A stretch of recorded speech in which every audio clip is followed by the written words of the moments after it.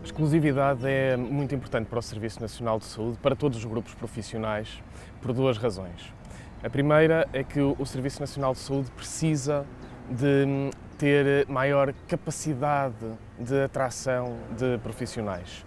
Eh, o Serviço Nacional de Saúde precisa de captar mais profissionais, de conseguir fixar mais profissionais.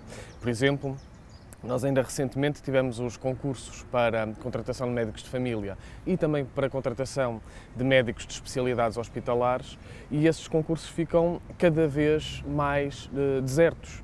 Eh, aqui na região de Lisboa e Val do Tejo, onde existe uma maior carência de médicos de família, 50% das vagas ficaram por ocupar. E não é por falta de médicos, porque esses médicos tinham acabado de ser formados no próprio Serviço Nacional de Saúde. Mas por alguma razão, eles consideram que as condições de trabalho, as condições de carreira, as condições remuneratórias não são boas no Serviço Nacional de Saúde e, portanto, procuram a sua vida, fazer a sua vida noutro sítio qualquer. E quem fala de médicos fala de outras profissões. Aliás, durante a pandemia, eh, foi dito várias vezes, até pelo Governo, que era difícil, neste momento, já contratar enfermeiros para o Serviço Nacional de Saúde. Eh, e também no dia a dia nós sabemos, enfim, de casos, por exemplo, de assistentes operacionais, ou como eles já deveriam ser, técnicos auxiliares de saúde, que entre às vezes ficar no Serviço Nacional de Saúde ou encontrar eh, uma outra profissão, um outro trabalho fora do Serviço Nacional de Saúde, mas que é salário mínimo na mesma, e que exige menos trabalho, menos esforço físico, menos horas, e eles vão para, para fora do Serviço Nacional de Saúde. A exclusividade é importante ainda por uma segunda razão, que é a da mais do que necessária, mais do que urgente, separação entre público e privado no que toca à saúde.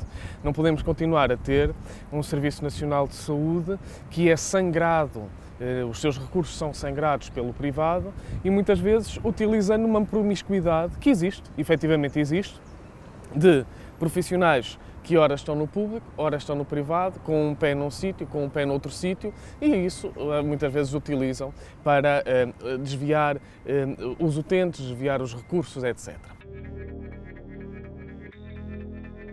O Governo propõe uma coisa que não é exclusividade, chamou-lhe dedicação plena.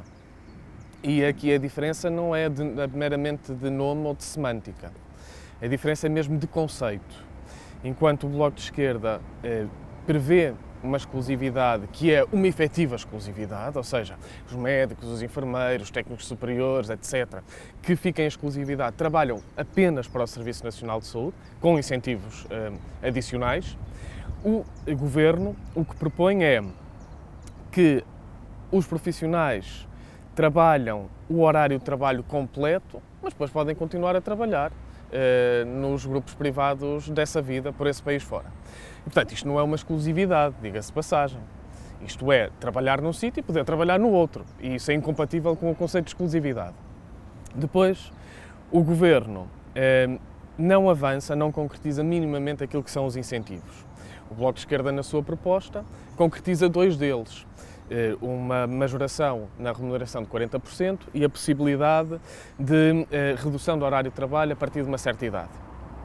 O Governo não diz nada disso. Diz que depois, em decreto-lei posterior, há de ver essas questões. Portanto, não sabemos sequer que tipo de incentivos ou se incentivos existirão na proposta do Governo.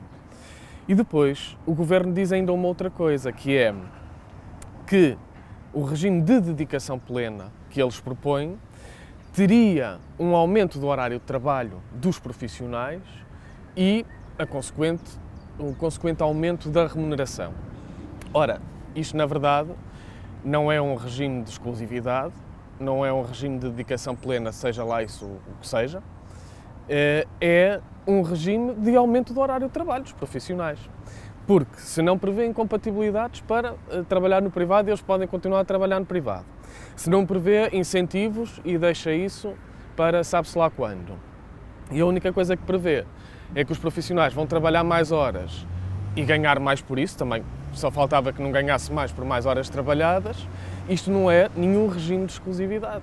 É o que parece é que o governo quis criar um regime de aumento do horário de trabalho, mas com por conveniência negocial com o Bloco de Esquerda, decidiu chamar-lhe dedicação plena para parecer que estava a ir ao encontro das propostas do Bloco de Esquerda, quando na verdade, e olhando, enfim, para uh, todo este processo negocial, quando na verdade o Governo não se moveu um milímetro eh, para ir ao encontro de um mínimo de exclusividade no Serviço Nacional de Saúde.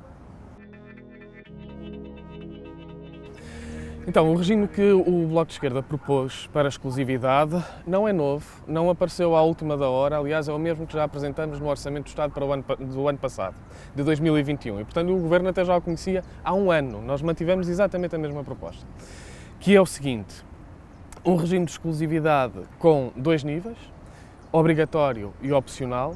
Obrigatório para quem tem cargos de chefia no Serviço Nacional de Saúde, porque é preciso fazer essa separação entre público e privado e acabar com a promiscuidade que existe, que muitas vezes drena os recursos do Serviço Nacional de Saúde, e opcional para todos os outros profissionais que queiram aderir ao regime de exclusividade. Um regime de exclusividade, pela sua própria definição, quem adere ao regime de exclusividade trabalha unicamente no Serviço Nacional de Saúde, em exclusividade, como o próprio nome indica. E para isso tem incentivos uh, adicionais que estão garantidos quando uh, aderem ao regime de exclusividade. Dois dos incentivos que o Bloco de Esquerda previa claramente é a majoração em 40% da sua remuneração e a possibilidade de redução do horário de trabalho sem penalização a partir de uma certa idade, 50 ou 55 anos. Dependeria de quantos, quantos trabalhadores quisessem aderir. É, é fácil de calcular, se o incentivo é de 40% da remuneração, é fácil de calcular. Agora, o que também é fácil de calcular é o que o Serviço Nacional de Saúde gasta por não ter exclusividade. E gasta muito mais do que gastaria se tivesse exclusividade. Por uma razão muito simples. O Serviço Nacional de Saúde tem um princípio que é um princípio bom, que é ninguém fica sem cuidados de saúde. Ninguém. E por isso, o Serviço Nacional de Saúde dá a resposta, é o Serviço Nacional de Saúde que o faz. Se o Serviço Nacional de Saúde não dá a resposta, o Serviço Nacional de Saúde paga fora para que outros possam dar resposta às pessoas. E por isso, neste princípio, das duas uma, ou o Serviço Nacional de Saúde é capaz de fazer as coisas e faz bem e faz de forma mais eficaz e faz eh, sem margens de lucro, e portanto bem e mais barato, ou então não é capaz de fazer as coisas e vai pagar mais caro para que outros façam. Ora, quando nós, ao não ter exclusividade, temos incapacidade de atrair médicos e com a incapacidade de atrair médicos temos que contratar mais fora, porque dentro do Serviço Nacional de Saúde não temos capacidade de fazer as consultas, as cirurgias que deveríamos estar a fazer, isso é o mesmo que dizer que por não ter exclusividade estamos a pagar cada vez mais ao privado para fazer aquilo que o Serviço Nacional de Saúde deveria fazer. A contabilidade sobre os custos da exclusividade deve também contar nessa equação eh, as despesas e os custos que é o SNS não ter exclusividade. E são muitas centenas de milhões de euros por ano por não ter exclusividade.